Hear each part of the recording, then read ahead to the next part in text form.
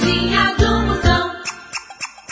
Ele disse que agarrou com você uma vez, você estava urinando, aí ele, ele agarrou no comprido da sua, da sua bilola, aí você se apaixonou e deu um beijo nele. É mentira, rapaz. É mentira dele, é? É mentira desse filho da p... Não, mas pode ser outro, só tem indico um não.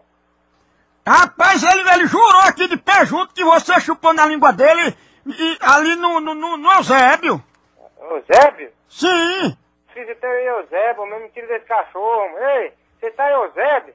ele tá dizendo que lhe ama. Onde é que vocês estão, hein? Agora ele disse que você vier aqui, ele vai lhe arranhar todinho. É, pronto, depois, depois não tem sair daqui a peraí, viu? Ei, dica! Rapaz, ele tá perguntando assim se pode fazer as pazes. Faz o quê?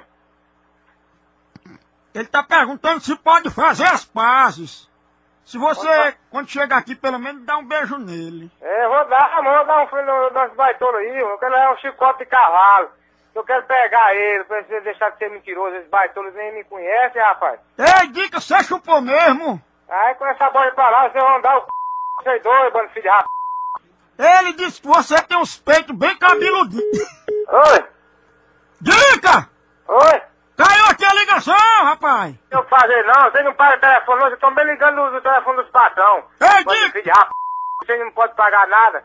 Dica! É, é, Dois cabos sem vergonha, homem. Ô, dica! Ah, dá o c... filho Ô.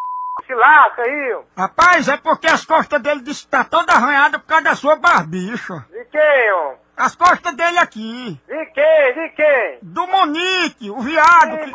Que de Munique, rapaz. Passei um lajeiro no teatro desse filho de rap...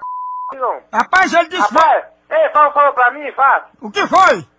Vai dar o c... e não liga pra mim mais não, filho de rap... Vai dar o c... baitolo. Dica!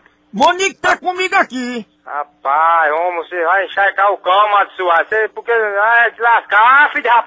Meu amigo, tenha Vai te cuidado. lascar, pegar o satanás. Ele, Dica, ele disse que vai furar seus olhos de gilete. Ele tá dizendo aqui. Vai furar os olhos do satanás. Dica!